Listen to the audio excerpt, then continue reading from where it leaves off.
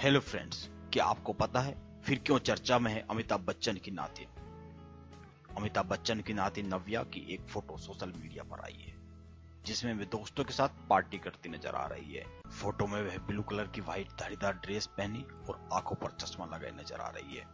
गौरतलब है कि पिछले महीने भी उनकी एक फ़ोटो वायरल हुई थी, जिसमें वे अपनी एक फीमेल फ्रेंड के साथ चिल करती नज़र आ रही थी।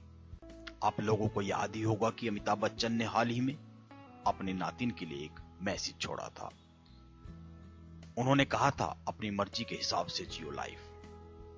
अपनी फ़िल्म पिंक के प्रमोशन के लिए अमिताभ बच्चन ने नातिन नव्या और पोती, आराध्या के नाम पर एक ओपन लेटर लिखा था, जिसमें उन्होंने कहा था कि उन्हें दूसरों के हिसाब से नहीं, बल्कि अपने हिसाब से जीवन जीना चाहिए।